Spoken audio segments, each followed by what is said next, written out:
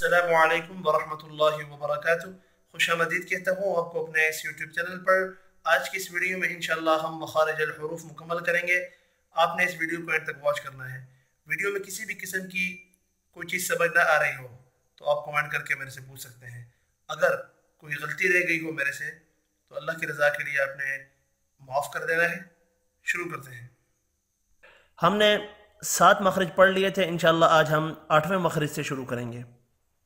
آپ کو اگر ہماری یہ ویڈیو پسند آتی ہے، لائک کریں، کسی چیز کی کمی ہے، تو آپ مجھے کومنٹ کر کے بتا سکتے ہیں۔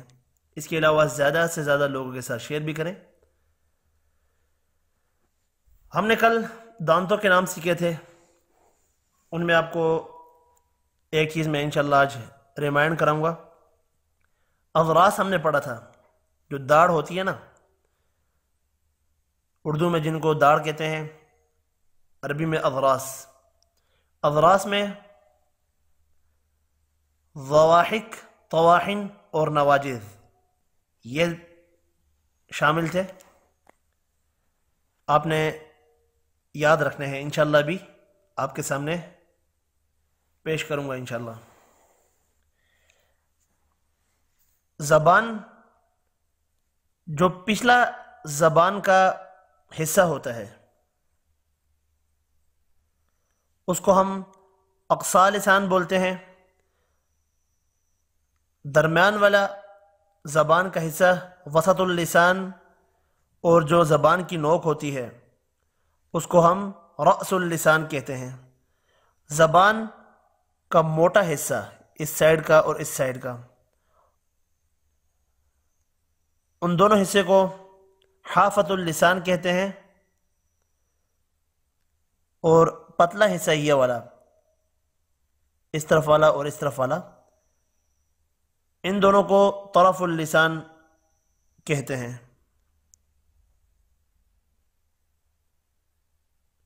اس کے علاوہ جو یہ والا حصہ ہوتا ہے، کوا، اس کو ہم لحات یا لہات کہتے ہیں۔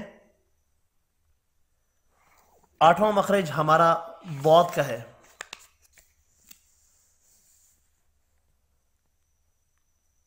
جب حافت اللسان یعنی زبان کا موٹا کنارہ دائیں جانب یا بائیں جانب اضراس میں یعنی جو داڑھ ہے، اس کے ساتھ لگے، تو واد ادا ہوتا ہے۔ واد یا بود دوبارہ سن لیں۔ حافت اللسان یعنی زبان کا موٹا حصہ۔ اضراس کے ساتھ، آپ کو کل بتایا تھا، وہاں پر لگے تو وہاں سے واد ادا ہوتا ہے اضراس آپ کو میں نے یہاں پر بھی بتایا ہے اضراس کے بارے میں۔ دیکھ لیں ایک بار دوبارہ۔ ضواحق، طواحن اور نواجز اضراس کہلاتے ہیں۔ اب حافت اللسان بائیں طرف لگائیں گے تو غود آسانی کے ساتھ ادا ہوگا۔ دائیں طرف تھوڑا مشکل ہے اور دونوں سائڈ زبان کی حاف لسان ایک ساتھ لگائیں، تب بھی نکال سکتے ہیں، لیکن وہ زیادہ مشکل ہے۔ اور غود موٹا ادا کیا جاتا ہے۔ اس کے بعد اگلا مخرج مخرج نمبر نو، لام کا ہے۔ اس میں زبان کا کنارہ، کنارے کے ساتھ ساتھ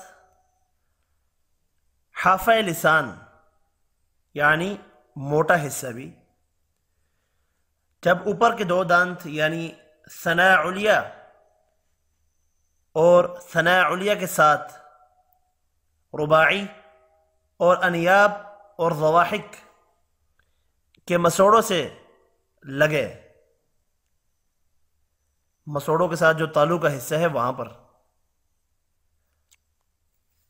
اب آپ دیکھیں سنایا دو دانت دائیں طرف لگتا ہے یا بائیں طرف؟ دونوں سے ایک ایک کر کے یعنی دائیں طرف لگائیں تب بھی لام ادا ہو سکتا ہے، یا بائیں طرف لگائیں تب بھی، یا دونوں کی دونوں کو ایک ساتھ لگانا ہے تب بھی لام ادا ہوگا۔ لام۔ مخرج نمبر دس، نون کا ہے، اور نون میں بھی زبان کا کنارہ لام والی جگہ پہ لگے گا۔ مگر نون میں ضواحق شامل نہیں ہوگا، ٹھیک ہے؟ یعنی نون میں ثنایا رباعی اور انیاب شامل ہوں گے، ضواحق نہیں ہوگا۔ نون، مخرج نمبر گیارہ میں رو رو نون کے مخرج کے قریب ہے، مگر رو میں زبان کی پشت کو بھی دخل ہے۔ رو رو زبان کی پشت لگتی ہے اوپر مسوڑوں کے ساتھ تالو میں۔ رو لام، نون اور رو کو طرفیہ بھی کہتے ہیں۔ مخرج نمبر بارہ۔ دال تو اور تا کا ہے۔ اس میں زبان کی نوک ثناء علیہ کی جڑ میں لگتی ہے۔ زبان کی نوک ثناء علیہ کی جڑ میں لگتی ہے۔ تو دال، تا۔ اور ان تین حروف کو نطاعیہ بھی کہتے ہیں۔ ان تین حرفوں کو نطاعیہ بھی کہتے ہیں۔ اگلا مخرج ذال اور سا کا ہے۔ اس مخرج میں زبان کی نوک ثنا علیہ کے سرے کے ساتھ لگتی ہے۔ زبان کی نوک ثنا علیہ کے سرے کے ساتھ لگتی ہے۔ اور ان تین حرفوں کو لتویہ کہتے ہیں۔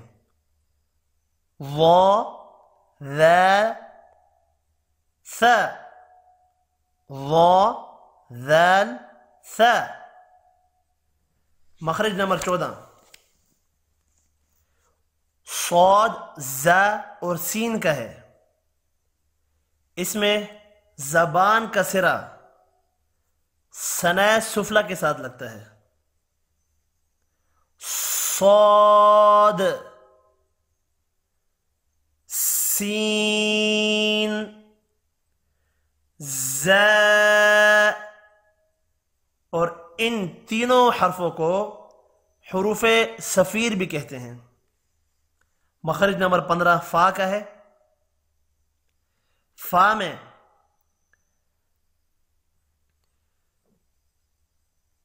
نچلے ہون کا شکم اور ثناء علیہ کے ساتھ فا کا مخرج۔ ف ف دوبارہ سن لیں. اس میں نیچے کے ہونٹ کا شکم اور ثناء علیہ کا کنارہ شامل ہے، ٹھیک ہے؟ ف مخرج نمبر سولہ. دونوں ہونٹ اس مخرج میں شامل ہیں اور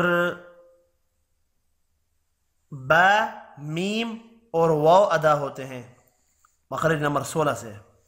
یاد رکھیے گا کہ واو لین اور واو مدہ اس مخرج میں شامل نہیں ہے۔ سمپل واو، میم اور با۔ اب ان تین حرفوں میں فرق کیا ہے دیکھیں۔ با ہونٹوں کی تری سے نکلتی ہے، اس لیے با بحری کہلاتی ہے۔ میم ہونٹوں کی خشکی سے نکلتی ہے، اس لیے میم کو بری کہتے ہیں۔ واؤ ہونٹوں کے نا تمام ملنے سے نکلتا ہے۔ فا کو اور ان تمام حرفوں کو یعنی فا اور یہ جو تین حرف ہیں با، میم اور واؤ۔ حروف شفویہ بھی کہتے ہیں۔ اور ہمارا آخری مخرج مخرج نمبر سترہ۔ خیشوم یعنی ناک کا بانسا ہے۔ اس سے غنہ نکلتا ہے اور غنہ انشاءاللہ آنے والے اسباق میں سیکھیں گے۔ اب غنہ نون اور میم کے اوپر بھی ہوتا ہے انشاءاللہ۔ آپ کو میں ایک ایک چیز بتاؤں گا۔ اب ایک چیز اور یہاں پر۔ مخرج معلوم کرنے کا صحیح طریقہ یہ ہے کہ جس مخرج کا آپ نے معلوم کرنا ہے، اس حرف سے پہلے حمزہ کے اوپر حرکت آ جائے۔ اب دیکھیں واؤ واؤ کا مخرج ہے تو واؤ ساکن ہو اور اس سے پچھلے حرف کے اوپر حرکت آ جائے۔ اس طرح انشاءاللہ آپ کسی بھی حرف کا صحیح طرح مخرج معلوم کر سکتے ہیں۔ یہی تھا ہمارا آج کا سبق۔ انشاءاللہ نیکسٹ ویڈیو میں ہم صفات حروف سیکھیں گے؟ کسی بھی چیز کی سمجھ نہیں آئی تو کومنٹ کر کے پلیز میرے سے پوچھ لیں، یا کوئی غلطی کوتاہی ہو گئی ہو تو آپ مجھے کومنٹ کے تھرو بتا سکتے ہیں، ٹھیک ہے؟